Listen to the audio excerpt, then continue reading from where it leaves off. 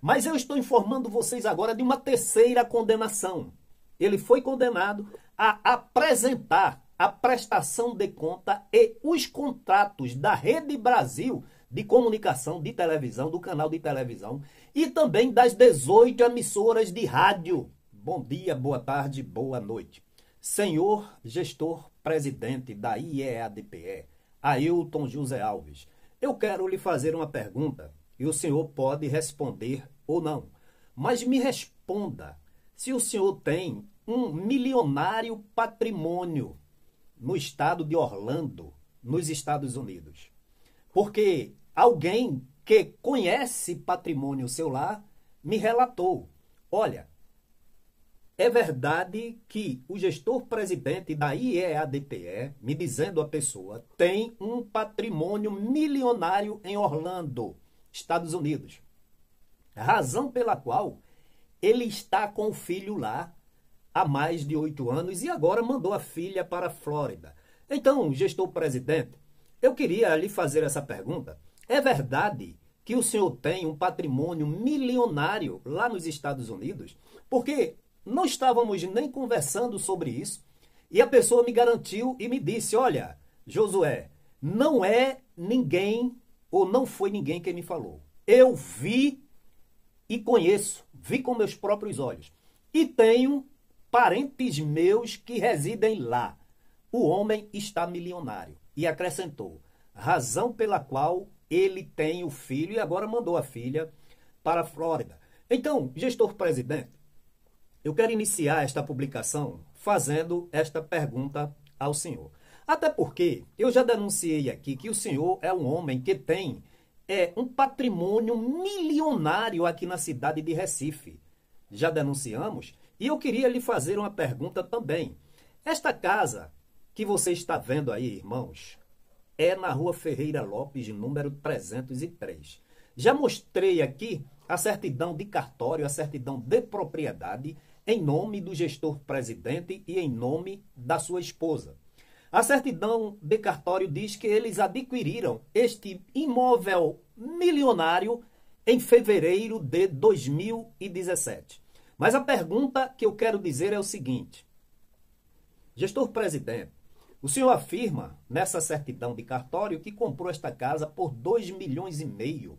Mas eu vou mostrar aqui para o senhor e para a membresia que esta casa, essa mesma casa aí, irmãos, em 2016, um ano antes, estava à venda por 4 milhões de reais.